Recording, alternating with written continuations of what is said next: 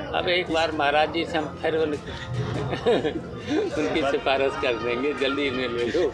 पाँच राज्यों में विधानसभा चुनाव, लोकसभा चुनाव का सेमीफाइनल माना जा रहा था, जहाँ पर कांग्रेस को सबसे ज़्यादा उम्मीद छत्तीसगढ़, राजस्थान और मध्य प्रदेश से थी। कांग्रेस की उम्मीदें परवान चढ़ी थी, लेकिन अचानक से सारी उम्मीदें टूट गई।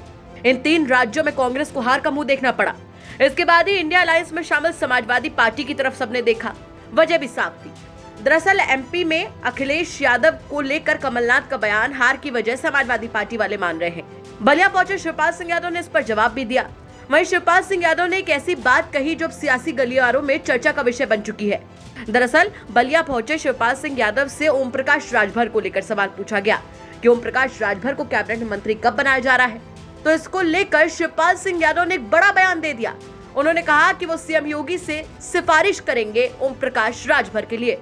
सर भाजपा के राष्ट्रीय अध्यक्ष जी कई बार मंत्रिमंडल में मंत्रिमंडल सर सुभाषपा के राष्ट्रीय अध्यक्ष जी कई बार मंत्रिमंडल में शामिल होने का वो डेट दे चुके हैं संकेत दिए हैं। अब एक बार महाराज जी से हम फिर उनकी सिफारिश कर देंगे जल्दी में ले लो। अच्छा हो गई चलो हो गया। हो गया बस बता दें कि ओम प्रकाश राजभर जब से एनडीए में शामिल हुए हैं तब से ये कहा जा रहा है कि वो इस बार के कैबिनेट विस्तार में मंत्री बनाए जाएँगे। लेकिन अब तक ओम प्रकाश राजभर के एनडीए में शामिल होने के बाद कैबिनेट विस्तार नहीं हुआ है, जिसको लेकर हर रोज राजनीतिक हलचल मचती रहती है।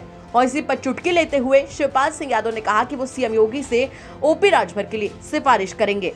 आपको बता दें कि शिवपाल सिंह यादव सहतवार नगर पंचायत के चेयरपर्सन की माता जी के निधन शोक सभा में शामिल होने के लिए बलिया पहुँचे थे, जहाँ उन्होंने ये बयान दिया है। आपका इस खबर पर क्या कुछ कहना है? कमेंट बॉक्स में ज़रूर बताएँ। बलिया से अनिल अकेला की रिपोर्ट यूपी तक।